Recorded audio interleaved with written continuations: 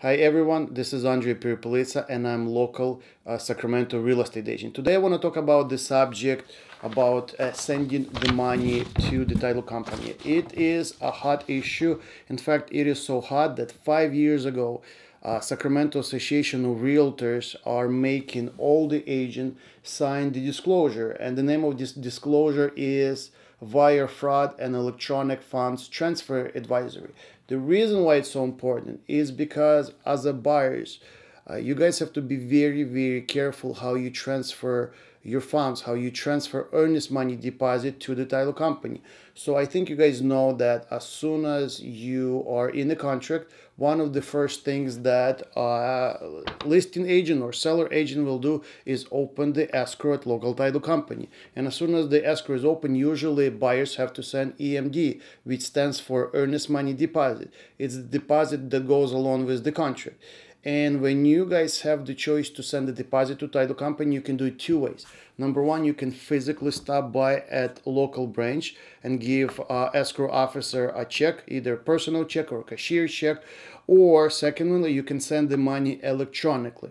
Now, when you send the money electronically, you have to be aware of hackers and scammers that exist. And so what these hackers and scammers do, they can actually uh, put a spyware in the computer that will tell the uh, hacker and scanner your email, your password to the email, and if the uh, hackers get access to your email, they actually uh, will send the email that will look like the email is coming from the title company and the email will have wire instructions where you can send the money. However, if that email comes from the hacker, the routing and accounting number are going to be altered. So if you follow those wire instructions, you're going to be sending the money to actually to hacker or to somebody who he wants you to send the money. And that is very, very dangerous. So the disclosure says that one of the things that the buyers have to do is the buyers are highly encouraged to call um, their title company, their escrow officer, and verify all the numbers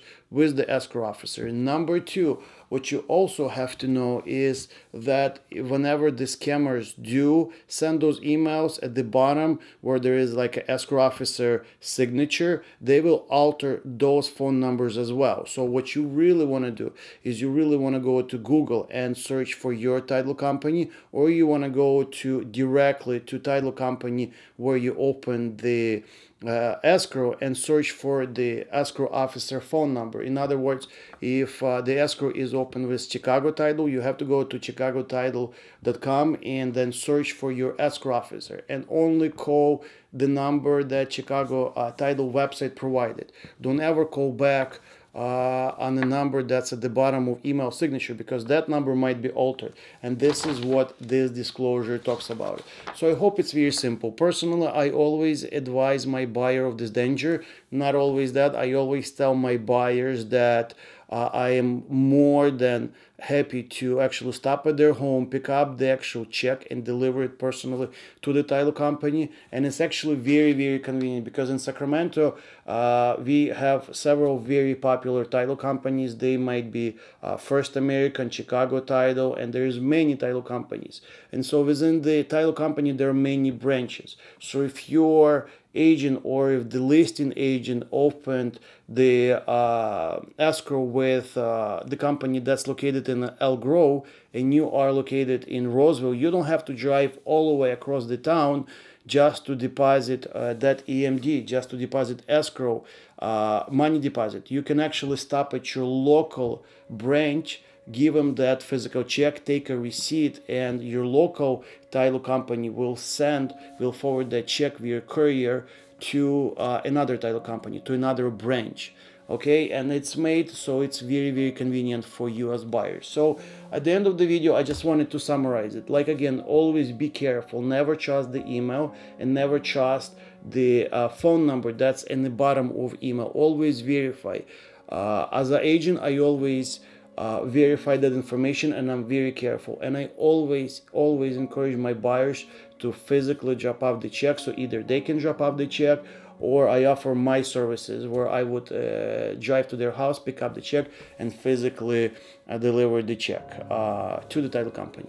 So I hope you guys found this video helpful and if you did, please do put a like and comment below. Let me know if you enjoyed this type of videos. Also, next time I'm gonna be talking about home inspections, roof inspection and termite inspections.